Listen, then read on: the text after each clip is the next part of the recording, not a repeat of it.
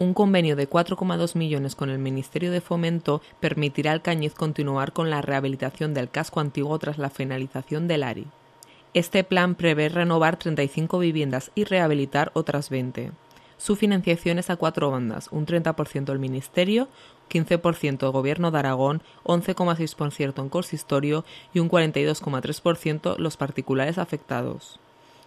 El convenio contó con la unanimidad de todos los grupos en el pleno del pasado viernes. Este, a diferencia de, DARI, no es solo rehabilitación de, edificios en mal estado, sino que también entra obra nueva dentro del casco antiguo, es decir, aquellos solares que están sin, edificar y que con el ARI no, no se pudieron hacer, ¿no? Esto muestra un compromiso claro del Partido Popular con la rehabilitación del casco histórico. Todos debemos recordar que el programa ARI se aprobó eh, con el Partido Popular, fue Carlos Abril, alcalde de Alcañiz, el que firmó ese convenio en el 2006, aunque luego evidentemente pues eh, se oye ¿no? que han sido otros, el que firmó el convenio fue, repito, Carlos Abril del Partido Popular y este nuevo convenio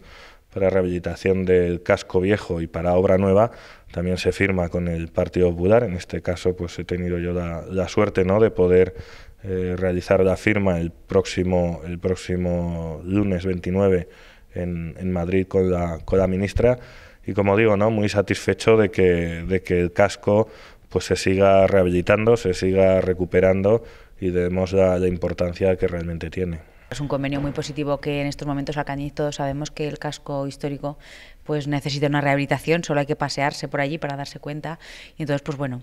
Sí que es cierto que esto llega pues un poco tarde, que estamos a finales de año, a finales de legislatura y nos encontramos pues que bueno, que sí que es verdad que cuando pasó por comisión lo que se planteó fue eh, el objetivo principal por el que se planteaba era eh, todos aquellos casos que quedaron pendientes del ARI, es decir, hubo expedientes que se quedaron sin finalizar, gente que quiso entrar en el ARI que ya no había dinero, entonces yo creo que va a venir muy bien para recuperar todas esas personas que querían que querían iniciar o, acabar el tema de la rehabilitación, eh, pero también va a servir para poder echar un pulso, o sea, un importe importante a, la, a, lo que tiene el ayuntamiento en el casco. Sabéis que tenemos el ayuntamiento muchos solares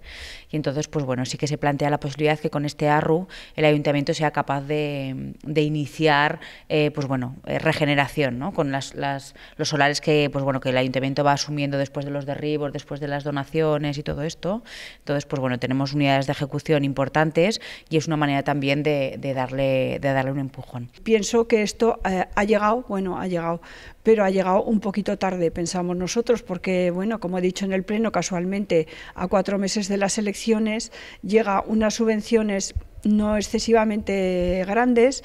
y sobre todo, bueno, pues con muchas prisas. Pero bueno, bienvenido sea porque lo que queremos es, eh, como pasó anteriormente, que todo el mundo que se quedó fuera mm, veremos si puede entrar, nos gustaría y sobre todo, pues que se cree empleo y que se cree trabajo. Yo creo que es lo, lo más importante y lo que tenemos que mirar.